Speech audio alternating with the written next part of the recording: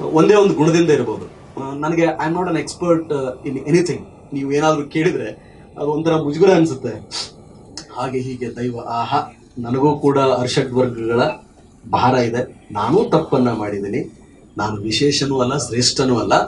ಆದರೆ ನೊಂದ ವ್ಯಕ್ತಿಗಳು ಯಾರಾದರೂ ಬಂದರೆ ಸಹಾಯ ಮಾಡುವ ಒಂದು ಏಕೈಕ ಗುಣ ಜನರಿಗೆ ಇಷ್ಟ ಆಗುತ್ತೆ.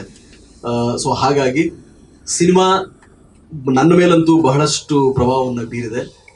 ಮಯೂರ ಸಿನಿಮಾ ಪ್ರಪ್ರಥಮ ಬಾರಿಗೆ ನಾವು ನೋಡಿದಾಗ ನಾನು ಎಲ್ಲ ಕಡೆ ಅದನ್ನು ಹೇಳ್ತಿದ್ದೀನಿ. ಡಾಕ್ಟರ್ ರಾಜ್ಕುಮಾರ್ ಅವರು ನನಗೆ ಆ ಇತಿಹಾಸವನ್ನು ಓದುವ ಮೊದಲು ನಮ್ಮ ಮೇಲೆ ಪ್ರಭಾವ ಬೀರಿದ ಸಿನಿಮಾ. ಒಬ್ಬ ವ್ಯಕ್ತಿಗೆ ಸ್ವಾಭಿಮಾನಕ್ಕೆ ಧಕ್ಕೆ ಆದರೆ ಸಾಮ್ರಾಜ್ಯವನ್ನು ನಿರ್ಮಿಸಬಹುದೇ ಅನ್ನೋದನ್ನ ನಾನು ನೋಡಿದ್ದು ಸಿನಿಮಾದ ಮೂಲಕ, ಮಯೂರ ಸಿನಿಮಾದ ಮೂಲಕ.